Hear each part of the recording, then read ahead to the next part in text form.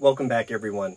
This is the first video that I'm shooting for my new shop. There'll be a lot of videos in the future on how I set up my shop and what it's going to look like. First thing we need to do, upgrade this thing.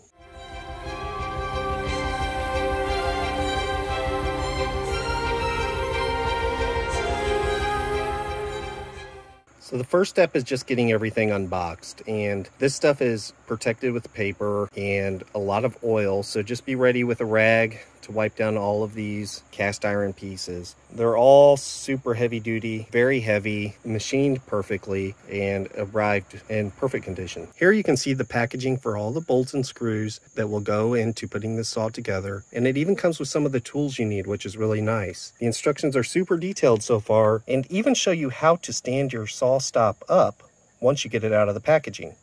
So far the instructions have been really easy to follow the first step is installing these wheels here. Uh, you just open the package, screw this on with a 14 millimeter wrench. There's a little key that goes into the shaft and then a set screw that comes with some thread lock pre-put on it that you tighten with the three millimeter Allen wrench that was provided with the kit. So you put the elevation control there and the angle control on the side. The next part of the process is installing this dust port with three screws and three lock washers. Again, SawStop made this very easy to install. There's a little flange on the inside that lines up with the cutout and the housing to make sure that it all gets aligned perfectly. The next thing they want you to do is install this motor cover. It's important to make sure that you have all the wiring out of the inside of the housing before you put this on. You just line up the motor cover with the hinges on the side and you push a rod up from the bottom to hold it all in place. The next thing we did is install these wings on each end of the saw. These are really heavy I suggest phoning a friend to help hold these while you screw them in from the bottom. The instructions say to just loosely tighten the bolts on these at first. Make sure you get a level and a straight edge to line everything up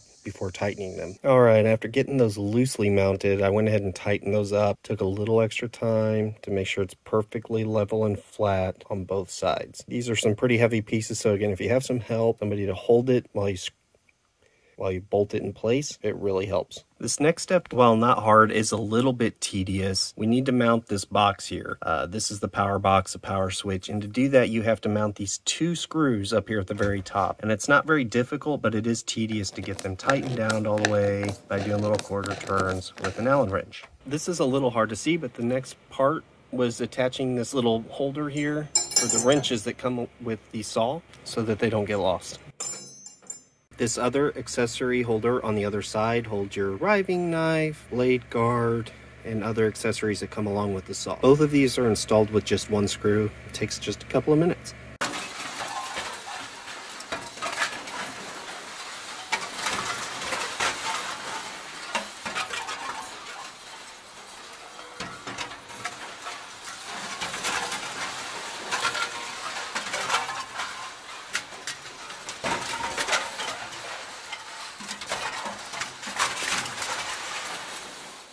The next thing we'll do is take a couple of nuts, screw them all the way to the bottom of these feet, and put those feet in the bottom of that leg. And this is why you don't put the other bolt in the end of the extension table first. This bolt is actually going to go through the rail, extension table, and if my leg would cooperate, into that top hole in that leg and get attached on the back with a washer, lock washer, and a nut. The next thing we'll do is take these washers here and we'll put them through the bracket that we just installed on the other side of the rail and through the leg and then we'll get everything nice and level and we'll bolt everything in place and tighten it down. Getting everything lined up and level and even on this extension table was by far the hardest part of this whole build so far. Took me probably 20 minutes to just finagle everything, make sure it was right and level, adjust that adjuster screw in the middle of the table underneath, get the legs level. One word of advice, I did find that as I got everything a little bit tighter, things started moving into place like they should. So go around, tighten the bolts a little at a time, check your level, try to get it as level as you can, tighten them all a little bit more, and just keep working your way around the table. That worked best for me. The next thing I did is attach the guide rail ruler to the bracket there. It's attached on the bottom with seven screws. This stuff all comes greased up to help it keep from rusting, and it's all super heavy duty. So just be careful when you're putting this on so that it doesn't slide off onto your face. First part of installing the actual fence, putting on this handle that just screws on, and then you slide it in between the groove between the saw and the measurement rail here. Get it really tight up against that side, leave about a 32nd of an inch, down in there between the saw and the rail and you tighten the bolt that's underneath here. Next thing I'll do is slide the fence down to the very end. Make sure there's a 32nd of an inch between the guide and the blade here. I'll tighten this bolt on this side and then I'll tighten the other five bolts underneath to make sure this stays nice and straight and secure all the way down. Thanks for joining me today. That's where I'm going to leave it off with this video. I'm not quite done. I still need to install the blade.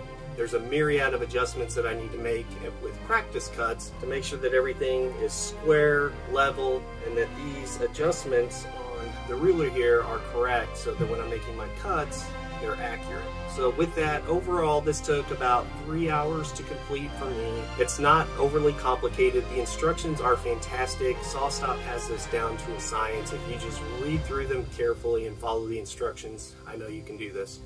Make sure you subscribe down below. Please click that thumbs up to let YouTube know that you're enjoying the content, and we'll see you next time. Thank you.